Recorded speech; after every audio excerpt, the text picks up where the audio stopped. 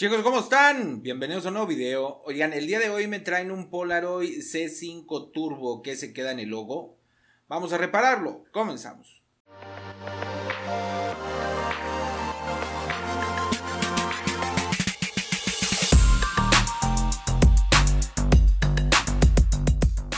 Bueno, pues ya saben, los archivos se los voy a dejar en la descripción del video. Les voy a dejar tanto la ROM como el programa para flashar el dispositivo ya que lo hayan descargado y, lo hayan extraído, les va a aparecer de esta forma, les va a aparecer la carpeta del Flash Tool y la carpeta de la ROM. Después vamos a entrar a la carpeta del Flash Tool, le damos ahí doble clic. Y después le damos doble clic al que dice Flash Tool. Vamos a esperar un momento a que se abra el programa. Le damos aquí en OK. Aquí tenemos el programa. Vamos a darle al botón que dice Scatter y vamos a seleccionar el, la ROM donde ustedes la hayan descargado. Entramos a la carpeta y el que diga Scatter lo vamos a seleccionar. Se va a tardar un momento en cargar el sistema, pero hay que esperar.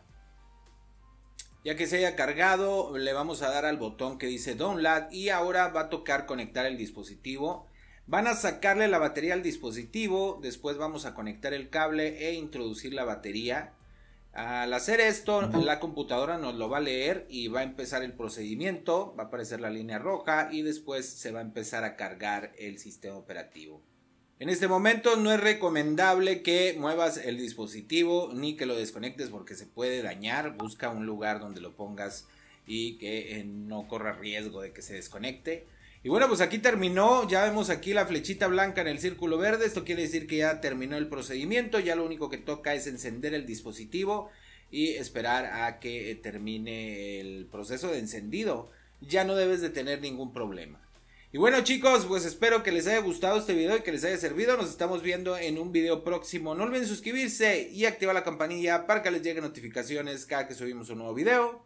Y no se les olvide seguirme en mis redes, hasta luego.